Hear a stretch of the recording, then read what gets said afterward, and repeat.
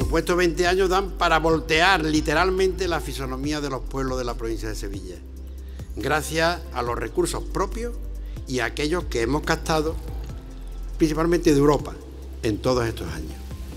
Y todo, como no, desde el más absoluto respeto y cuido de la salud financiera de la Diputación.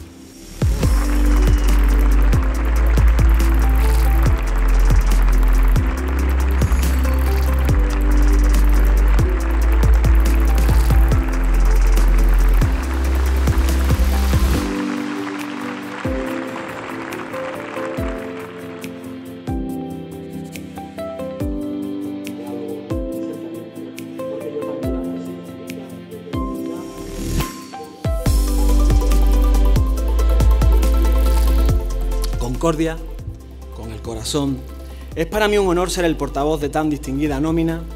La Diputación de Sevilla, con motivo del Día de la Provincia, ha concedido una serie de honores y distinciones a entidades y personas admirables a las que me gustaría dedicar unas palabras.